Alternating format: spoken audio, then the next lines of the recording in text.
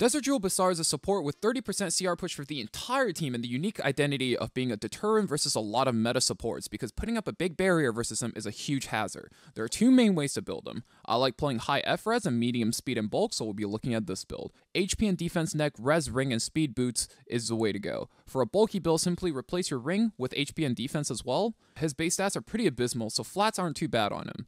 Speed says a natural inclusion since he wants to be both fast, and while it's not a necessity, res, HP, or defense and the offset can really help round out his stat line. For subs, I would say 255 plus is a very premium speed to aim for, but you can play slower if your account plays slow, or go faster if you like being aggressive. Water's Origin is his best in slot artifact as it both lets him survive and cleave. In a slower build, he can even support Guardian Ice Crystal or Bastion of Hope to charge him more res. He's a solid pick into anything that provides barrier in PvP, just be aware that his self-mitigation will be on cooldown if his skills are on cooldown.